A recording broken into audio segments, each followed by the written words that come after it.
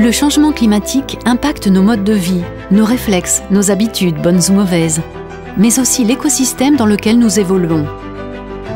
Les espèces animales et végétales voient leur milieu changer et évoluer. Pour les scientifiques, en fait, le changement climatique et l'érosion de la biodiversité ne sont pas deux phénomènes indépendants l'un de l'autre. On dit euh, même qu'ils sont interconnectés, en fait, comme les deux faces d'une même pièce, qui est la, pièce du changement global. Et euh, par exemple, le dérèglement climatique a un effet direct sur euh, le vivant, sur les espèces euh, qui sont amenées à se déplacer parce qu'elles trouvent des conditions qui ne leur sont plus favorables, l'augmentation des températures, des milieux de reproduction qui changent.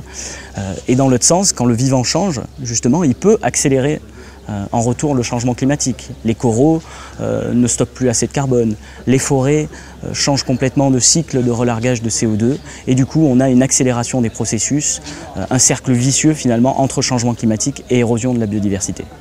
En Île-de-France, nous repérons une remontée d'espèces méridionales et avec elle des insectes, des parasites qui n'existaient pas dans la région.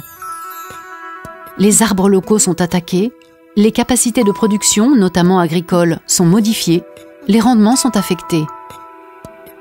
Accroître la végétation urbaine pour rafraîchir l'air ambiant et lutter contre l'effet d'îlot de chaleur. Préserver la fertilité des sols pour favoriser le cycle de l'eau et faciliter le stockage du carbone.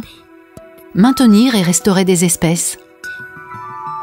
Dans le Gâtinais, la Maison du Parc accompagne les entreprises et exploitants locaux pour mettre en œuvre ces transformations rétablir des couloirs arborés entre les parcelles, favoriser les circuits courts, préserver la biodiversité et passer à une agriculture biologique et raisonnée.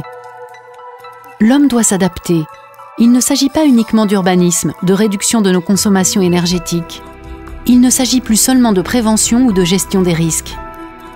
Il s'agit d'accepter un monde en mutation et tout faire pour que la vie soit préservée.